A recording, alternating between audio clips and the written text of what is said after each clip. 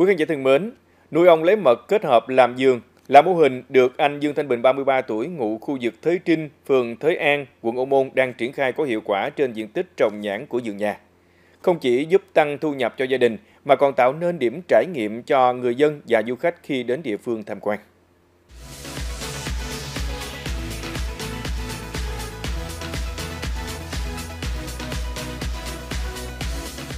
Nếu trước đây gia đình anh Bình chỉ nuôi 5 thùng ong, thì hơn năm nay đã nhân rộng 20 thùng như hiện giờ.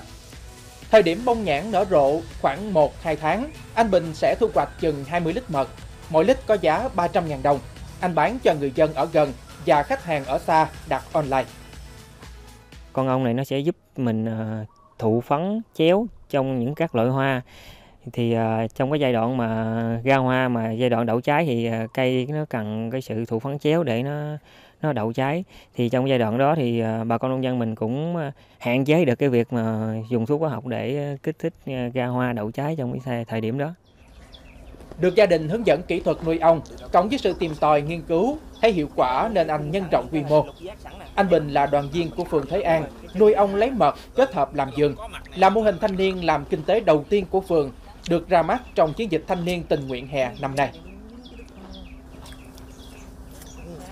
Ngọt gắt luôn Ngọt đậm luôn Ngọt mà có mùi vị thanh nha ừ, Tặng ta, ai cũng khen ngon Khi mà đi tham quan thưởng thức ờ, mật ong tại vườn của nhà anh Bình thì em cảm thấy đây là một trải nghiệm rất mới mẻ và thú vị. Địa phương cũng đang phát triển về cái uh, du lịch miệt vườn thì uh, cái nếu mà khả năng được cái mô hình này thì có thể nhân rộng là khách tham quan có thể tham quan và chia sẻ được cái kinh nghiệm của anh uh, về cái uh, mô hình nuôi ong kết hợp với làm vườn này. Cái khó là phải nắm kỹ thuật nuôi ong, thường xuyên kiểm tra thùng, chăm sóc ong kỹ để cho chất lượng mật cao. Địa phương em ở là đa số trồng nhãn thì có cái nguồn nguyên liệu thức ăn sẵn có cũng là cái nguồn mật tự nhiên để cho ong nó nó thu hút mật để tạo ra cái cái nguồn mật nó giá trị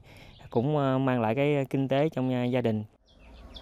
Ngoài thu nhập chính từ vườn nhãn, mô hình này đã mang về cho gia đình anh Bình thu nhập kép. Bước đầu tạo nên một điểm tham quan trải nghiệm mới cho người dân và du khách đến tìm hiểu mô hình và thưởng thức mật ong tại vườn.